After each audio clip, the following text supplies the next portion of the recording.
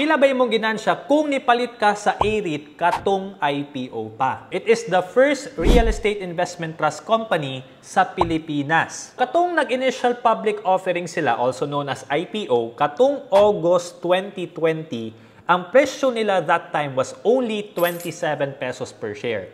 As of this recording, ang presyo niya kay 34 pesos and 20 cents per share. That means na kay ginansya of 26%.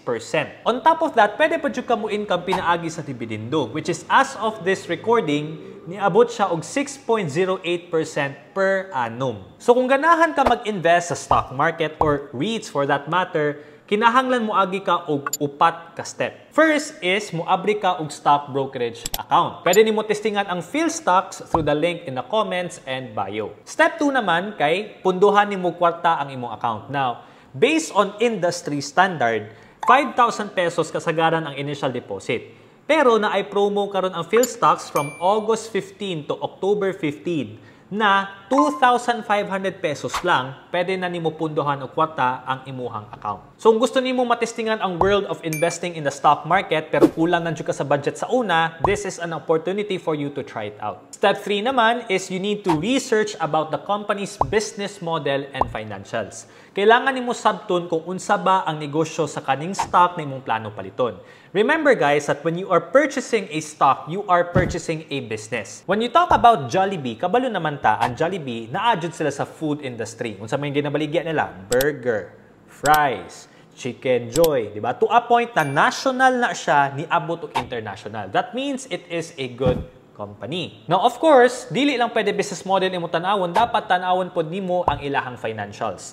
The good thing about investing in stocks or REITs kay public manggod na ang ilahang financial information because they are required by law na i-reveal sa public. Ang isa sa akong ginagamit na resources, Jude, kay morningstar.com. Makita mo dito ang balance sheet, income statement, and cash flow of the company. Ang importante lang dyan mo sabton, anak, kay ginansyado ba ang negosyo o dili? Ganahan ba day ka mag-invest sa isa ka negosyo na palugi? Chances are you're going to say, dili, of course. You would want to invest in a company na ginansyado para mas mapredict nimo na okay ang imong investment and your capital will be secured, mutubo pa jud ang imuhang kwarta. Step 4 naman is you invest for the long term. When you invest in the stock market, there are two ways for you to make money out of it. It's either capital gains or cash flow. Ang capital gains kay mo ni siya barato imong pagpalit, baligyaon nimo siya mahal in the future, kato ang imong ginansya. Ang cash flow naman is you own that particular asset and then naa kay madawat ng dividends because the company is performing well.